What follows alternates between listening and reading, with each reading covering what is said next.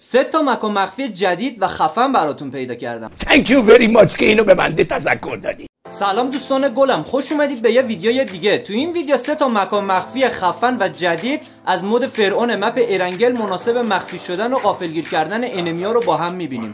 امیدوارم که ویدیو رو بپسندید و لطفا با لایک و کامنت و subscribe تون حمایت کنید. دمتون گرم بریم سراغ ویدیو.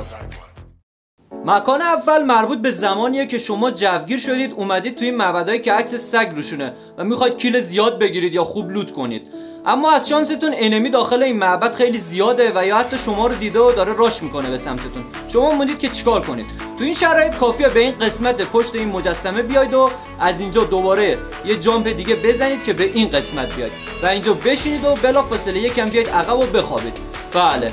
به این شکل به صورت خیلی حرفه‌ای و خفن مخفی بشید و از دید تمام enemy ا مخفی. همچنین اگه enemy اگه از نزدیکترین فاصله شما رد بشه بازم به هیچ وجه نمی‌تونه شما رو ببینه مگر اینکه scope کنه روتون و شما رو با زوم کردن ببینه که معمولا این کارو نمی‌کنن. مکان دوم مربوط به این مجسمه سگه و مربوط به زمانی که شما نمی‌خواید مخفی شید و می‌خواید enemy ا رو بزنید و غافلگیر کنید. کافیه روی دماغ این سگ بیاید و از اونجا به این شکل روی خود سگ. و از اینجا با یه peek دادن می‌تونید enemy ا رو به راحتی بزنید و غافلگیر کنید.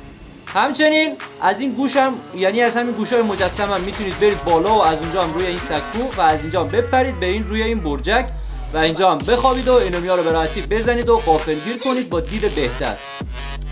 حتی می‌تونید روی خود این دیوارک های معبد هم بپرید و مخصوصا به این قسمت بیاید. اینجا که خیلی راحت انمیا رو می‌تونید بزنید. مکان خفن سوم مربوط به این دوتا مجسمه از دور فرعون تو پیش خود فرعونه. که این مکان واقعا مکان خیلی خفنیه. کافیه برای اومدن به این مکان. از این قسمت به این شکل سه چهار باری بپرید و از اینجا آویزون شید و بین پای این مجسمه بیاید و بخوابید. اینجا دیگه enemy ا هیچ دیدی بهتون ندارن و شما می‌تونید یه عالمه kill بگیرید. چون enemy ا 100 درصد اینجا میان و مخصوصا زمانی که این در باز بشه و بخوان برن پیش فرعون. شما اینجا می‌تونید enemy ا رو به راحتی غافلگیر کنید و بزنید.